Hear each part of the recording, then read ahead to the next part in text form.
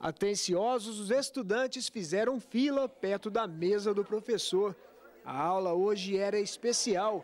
As explicações da bioquímica foram acompanhadas de perto por esta turma. Os alunos fizeram teste sanguíneo para identificar qual o tipo de cada um. Esta bioquímica de um laboratório de Lavras explicou o processo para os estudantes, que depois irão receber cada um uma carteirinha com a identificação do sangue.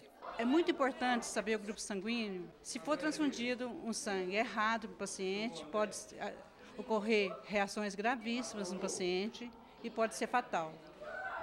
E durante a gestação, é, a mãe RH negativo, que gera um feto RH positivo, pode ocorrer o fenômeno eritroblastose fetal, que vai haver a, a formação de anticorpos no sangue da mãe. Esse anticorpo vai destruir, hemolizar o sangue do neném, tá? E pode causar problemas seríssimos no neném, como é, problemas é, cerebrais, visuais, cardíacos, podendo levar até a morte.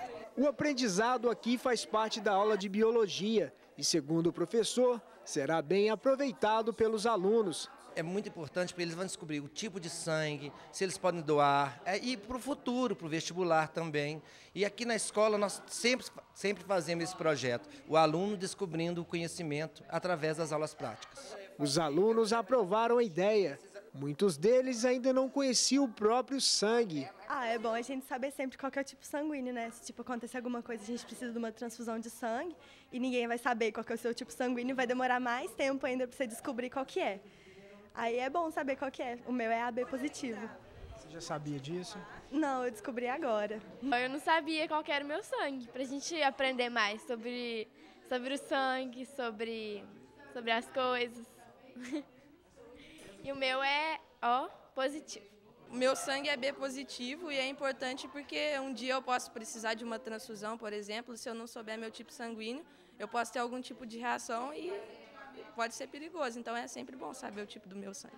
Para o professor, o que se aprende na prática terá uma melhor absorção de conhecimento pelos estudantes. Nós chamamos isso de relato experiência. Todas as vezes que o aluno vem em sala de aula e ele pode tocar, sentir, visualizar e ter aulas práticas é, sobre o assunto que ele viu em sala de aula, ele vai ter uma facilidade de absorção.